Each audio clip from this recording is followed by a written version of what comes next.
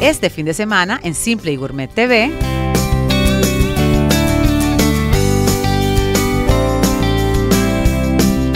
Ahora en A Dónde Vamos les voy a presentar el nuevo restaurante peruano Acholado.